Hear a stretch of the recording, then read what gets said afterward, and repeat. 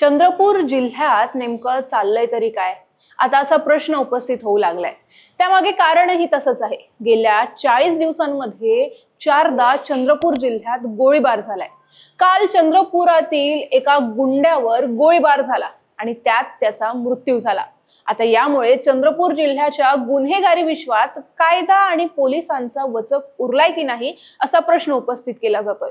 नेमकं सध्या चंद्रपूर जिल्ह्यात काय सुरू आहे? या गोळीबारामागं काय कारण आहे? आणि यात कोणाचा मृत्यू झाला ते आपण या व्हिडिओमध्ये बघणार आहोत.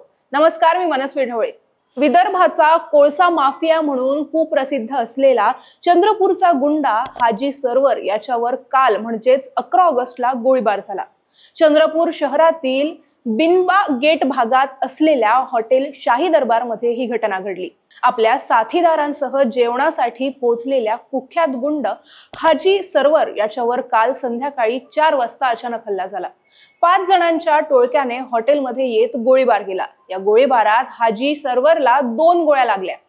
त्याच्या शिवा नावाच्या एका साथीदाराने त्याला वाचवण्याचा प्रयत्न केला. तेवढ्यात हाजी सरवर हा हॉटेलच्या किचनमध्ये जाऊन लपला. आरोपींनी त्याला शोधलं आणि त्याच्याजवळ जात त्याच्यावर चाकूने हल्ला केला.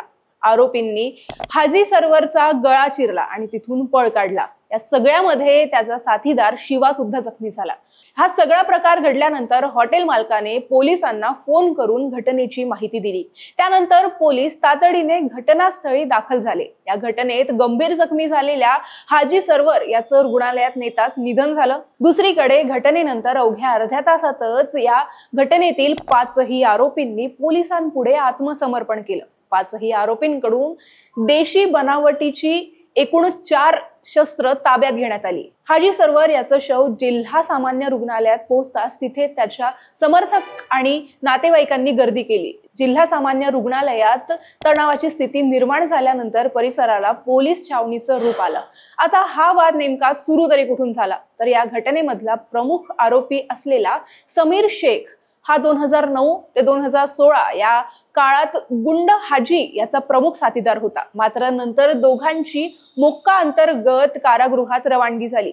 त्यांच्यात पैशावरून आणि अन्य काही कौटुंबिक मुद्द्यांवरून संघर्ष झाला होता. नुकताच नागपुरात या दोघांमध्ये समेट घडवण्यासाठी एक बैठक झाल्याची देखील माहिती आहे.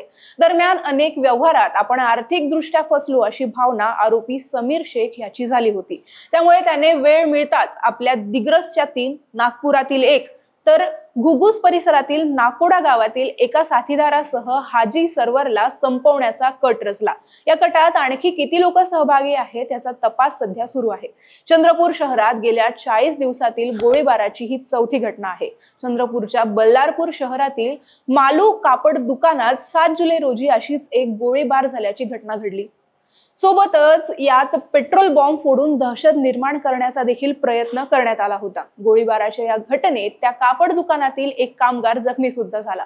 या कामगाराच्या पायाला गोळी लागली होती. विशेष म्हणजे या घटनेच्या दोन दिवसांपूर्वी चंद्रपूर शहरातील रघुवंशी कॉम्प्लेक्स या ठिकाणी मनसे कामगार सेनेचे जिल्हाध्यक्ष अमन अंधेवार यांच्यावर देखील गोळीबार करण्यात आला होता. त्यानंतर काल झालेल्या गोळीबाराच्या घटनेनं पुन्हा एकदा चंद्रपूर जिल्हा हादरला असून परिसरात भीतीचं वातावरण निर्माण झालंय. या घटनेविषयी तुमचं काय मत आहे? चंद्रपूर जिल्ह्याच्या गुन्हेगारी विश्वात कायदा आणि पोलिसांचा धाक उरलाय की नाही? तुम्हाला काय वाटतं? नक्की कमेंट्समध्ये सांगा. आणि अशाच व्हिडिओसाठी महाराष्ट्र भूमीच्या युट्यूब चॅनलला सबस्क्राईब करायला विसरू नका. धन्यवाद.